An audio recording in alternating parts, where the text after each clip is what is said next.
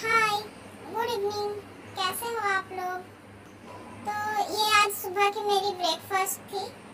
तो मुझे सुबह टाइम नहीं मिला, इस वजह से मैं अभी एडिट करके डाल रही हूँ वीडियो तो ये बॉईल किया हुआ चना है, इसमें मैंने भिगोए हुए मूंग ऐड किए थे। तो ये जो मूंग है, इसको मैंने रात को ही भिगो के रखा था, वही मूंग है। फिर मैंने इसमें फ्राई की हुई मूँगफली ऐड की है।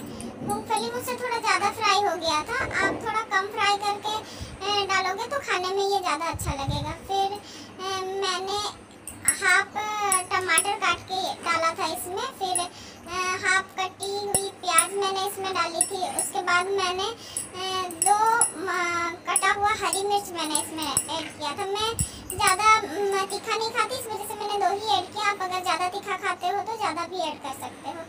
फिर मैंने हाफ़ लेमन इसमें ऐड किया है। उसके बाद मैंने इसमें चाट मसाला ऐड किया है। मुझे चाट मसाला उतना नहीं पसंद इस वजह से मैंने हल्के से चाट मसाला यूज़ किया है। आपको अगर पसंद है तो आप थोड़ा ज़्यादा भी ऐड कर सकते हो। और फिर ये ब्लैक सॉल्ट मैंने इसमें ऐड किया है।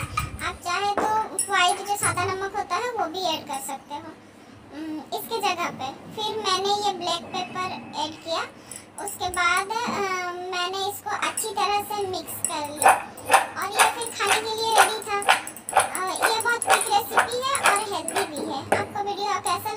कमेंट करके ज़रूर बताइएगा।